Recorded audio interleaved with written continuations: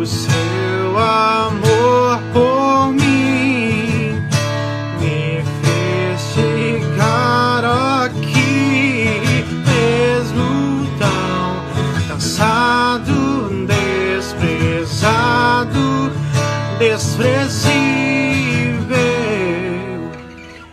E se eu cair, a tua